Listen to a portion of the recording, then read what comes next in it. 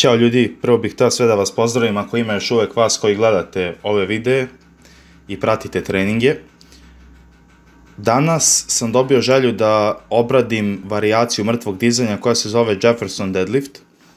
Dakle, mnogi od vas su zbunjeni ovom varijacijom i nije vam jasno zašto bi neko radio ovu varijaciju mrtvog dizanja kada postoji obično mrtvo dizanje i vidite ovu varijaciju kao, kako bi rekao, gubljenje vremena ili glupiranje ali to baš i nije sve tako i postoje određeni benefiti kod ove varijacije u odnosu na obično mrtvo dizanje. Ne bih volao da me shvatite pogrešno i da mislite da govorim da je ova varijacija bolja od mrtvog običnog i da početnici treba da rade ovu varijaciju ili da vi napredni trebate. Ne, jednostavno samo kažem da je drugačija i da može da se implementira u neki program ako vi smatrate da ima mesto znači, kod vas u programu. Pa da počnemo sa ne, benefitima koje Jefferson Deadlift donosi, kasnije ćemo navesti mane. Prvi benefit je što ne zamarate toliko donja leđa. Dakle, zašto je to tako? U Jeffersonu vi imate neki stav koji bi imali, na primjer, u nekim borilačkim sportovima, kao što je kickbox ili tako neki borilački sport, u kom je jedna noga ispred druge i stojite onako pod uglom, kao da imate taj borbeni stav. Zašto se manje umaraju donja leđa? To je zato što je šipka ispod vas, zato što je jedna noga preko šipke, druga iza, šipka se nalazi ispod vaše kičme i ne postoji moment cile. Mislim da većina vas je upućena šta znači moment cile, ali za vas ako možda niste sigurni, navešću vam primjer da biste razumeli bolje. Ako uzmete teg ili flašu vode i vi primahnete tu flašu vode i držite, na primjer, kod vaših grudi, možete jako dugo da je držite tako. Jednostavno nema momenta sile i olakšano vam je. U slučaju da ispružite ruku pored vašeg tela, vi ste sad napravili moment sile koji se proteže znači, od flaše vode do vašeg ramena, zato što je jednostavno udaljen taj teg, ta flaša vode ili šta već, je udaljen od vašeg tela i postoji moment sile i mnogo kraći ćete moći da držite ruku u tom položaju.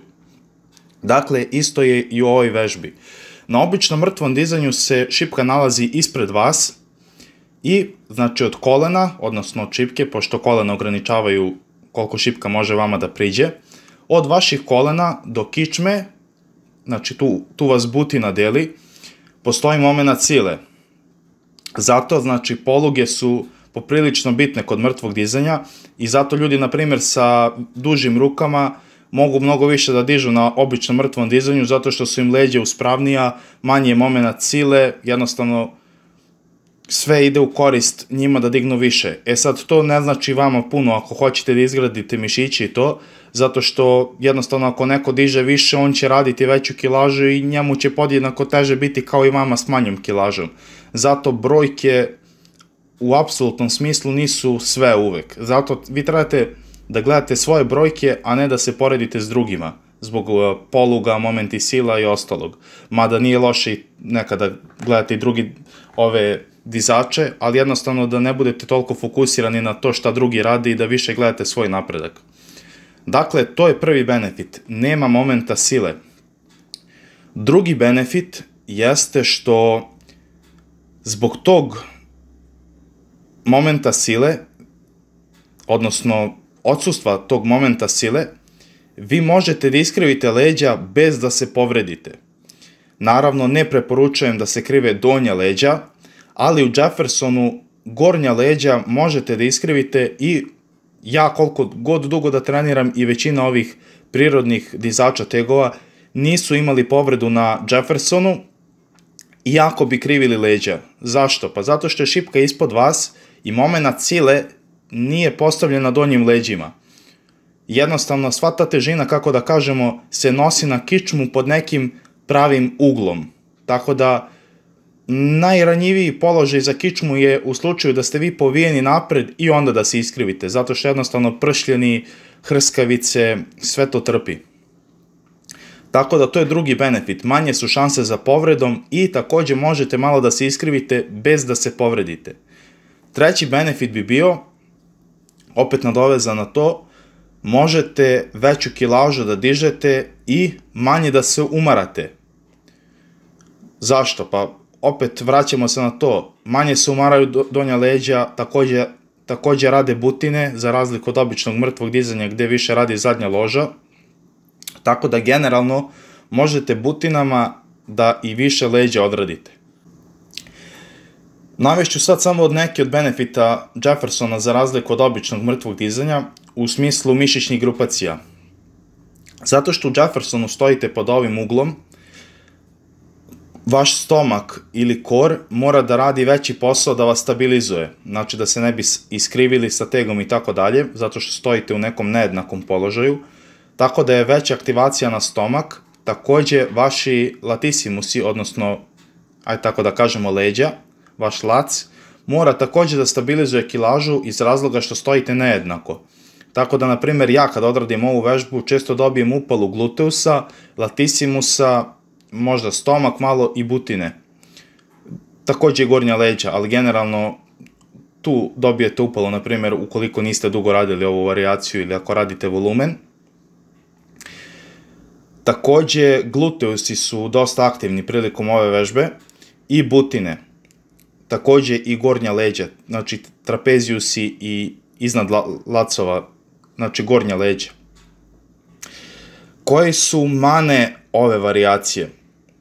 Mana je to što ne radite zadnju ložu, znači kod običnog mrtvog dizanja, pošto je šipka ispred vas, više opterećujete donja leđa, što nije loše u nekim slučajevima zato što ih jačate, i takođe više opterećujete zadnju ložu, što je takođe dobro za zdravlje kolena, za inače mrtvo dizanje i sve ta, tako dalje.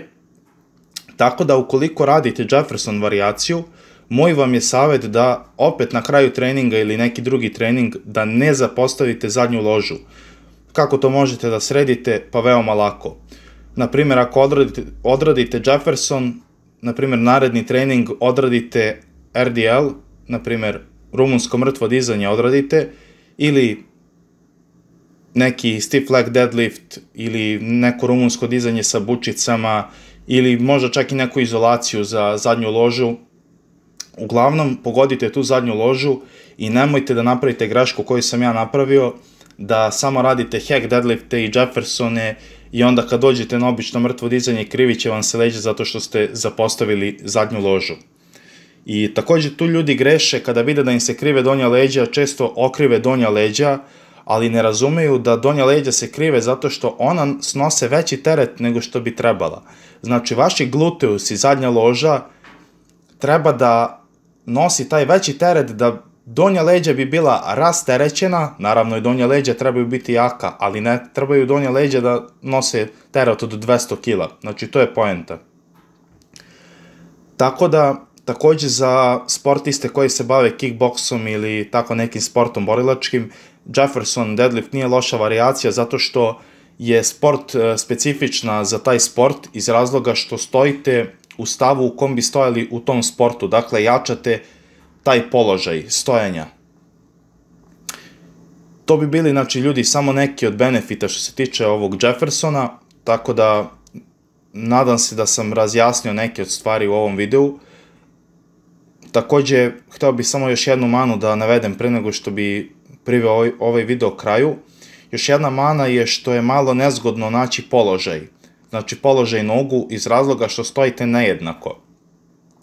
Ali mislim da se ovaj problem opet lako rešava time što jednostavno radite vežbu i vremenom nađete neki položaj koji vama odgovara. Da li da stavite noge šire, uže i tako dalje.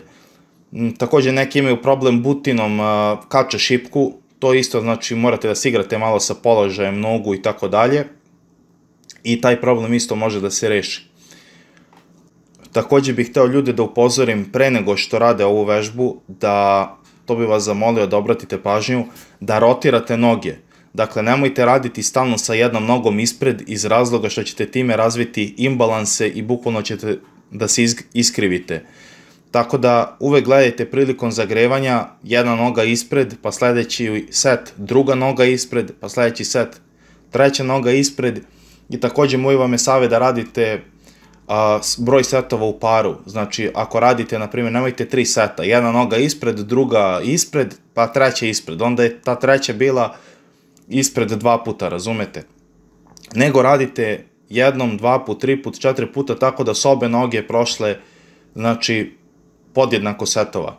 E sad, kada maksujete, to nije toliko ono presudno, da li maksujete ovaj dan ovom nogom ili onom nogom, generalno nemojte to toliko da pratite, ali se potrudite da ne bude uvek isto, znači, uh, bitno je prilikom zagrevanja da menjate noge, a sad za max set samo se potrudite da ne radite svesno jednom nogom, nego gledajte, ok, ovaj trening ću maksovati ovom nogom, drugi trening onom nogom, tako da jednostavno ne biste imali imbalanse.